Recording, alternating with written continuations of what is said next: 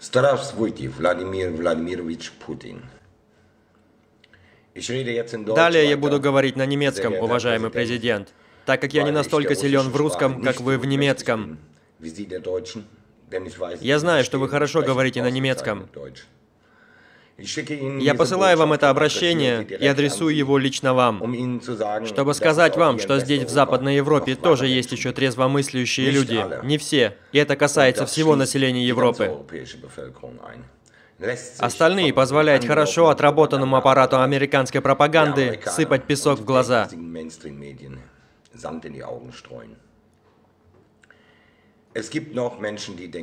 Есть еще думающие люди, и потому что мы думаем, я решил обратиться к вам и сказать, что мы вас поддерживаем. Сейчас опять идут сплетни, что вы заболели, потому что вы шесть дней не появлялись на публике. Если так рассуждать, я знаю, что вы человек с хорошим чувством юмора, то госпожа Меркель уже должна была бы быть мертва, потому что ее тоже уже давно не видно. Я надеюсь, что вы здоровы и здоровы будете. Это абсолютно очевидно для каждого, кто не слеп, что Россия не является агрессором. Агрессия исходит совершенно очевидно от Запада, точнее от США.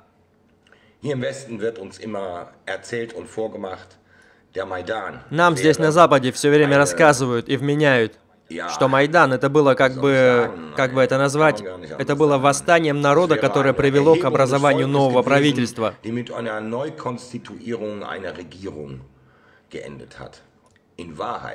В действительности же, это было свержение избранного президента Украины. Это путь, который был американцами организован и проплачен большими деньгами. Такой же, как в случае с Альендо в Чили. И в этом для думающего человека не может быть никакого сомнения. И я думаю, что вы, господин президент, в этом тоже не сомневаетесь. Также потому, что вам помогают порядочные американцы, которые раньше работали в высоких кругах в американских спецслужбах, которые с отвращением покинули ту систему, которой раньше служили. Бывший офицер ЦРУ Рэй Гаммар говорит о том, что ЦРУ тотально коррумпированная организация.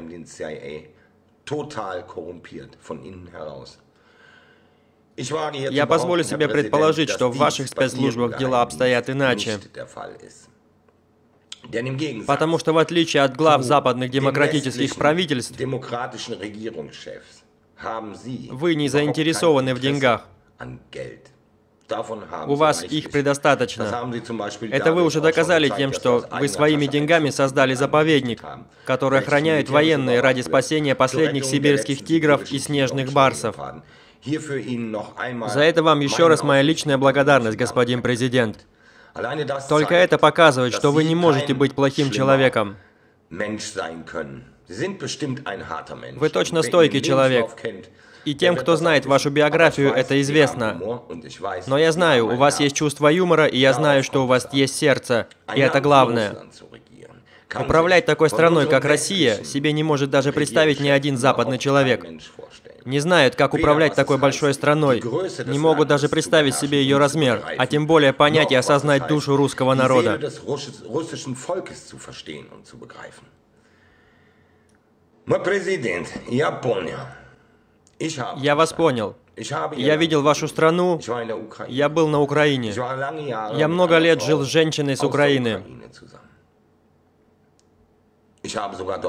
Я даже там жил. Поэтому я имею представление о людях, которые там живут, и об этой стране. И именно этого и не хватает большинству, которые здесь на Западе ведут пропаганду против России. Если бы они знали то, что знаю я, то им бы не пришли в голову такие глупые идеи, которые отчасти даже показывают в лучшее время в новостях на немецком телевидении. Врут в лучшее время в главных новостях на немецком телевидении.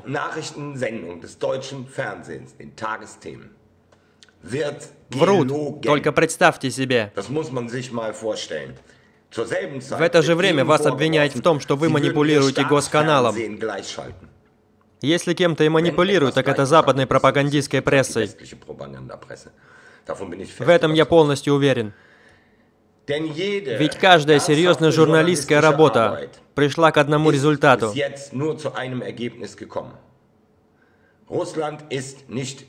Россия не агрессор. Россия неоднократно предлагала дружбу Западу. Вы, господин президент, неоднократно предлагали дружбу Западу. Я посмотрел много ваших выступлений в оригинале и постарался их понять. И поверьте, я вас понял.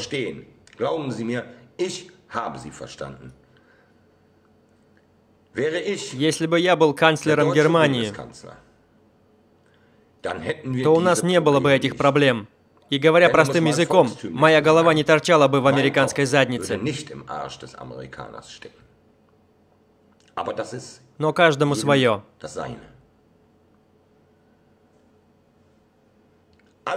Все доказательства, все расследования журналистов показывают однозначно, откуда исходит агрессия. Были посланы 300 американских солдат на Украину, Вроде как бы для обучения артиллеристов. Нам так рассказали. Эти 300 солдат — это специальная разведывательная группа «Рейнджерс».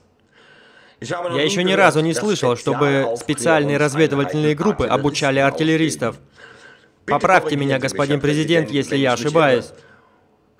Вы уже об этом слышали? Я подозреваю, что нет. И вы разбираетесь в этом намного лучше, чем я когда-либо буду. Это ужасно. И поэтому, глубоко уважаемый господин президент Путин, сохраняйте и дальше спокойствие. Не позволяйте себя провоцировать. Но если все же дойдет до самого страшного, то есть старый призыв Красной Армии. И тогда можно сказать, Смерть фашисти оккупанты. Хочу еще раз вас поприветствовать и пожелать вам здоровья. Может, вы когда-нибудь услышите то, что я хотел вам сказать. Я буду надеяться, что со мной многие люди в Германии, в Европе, во всем мире, что они сохранят стойкость.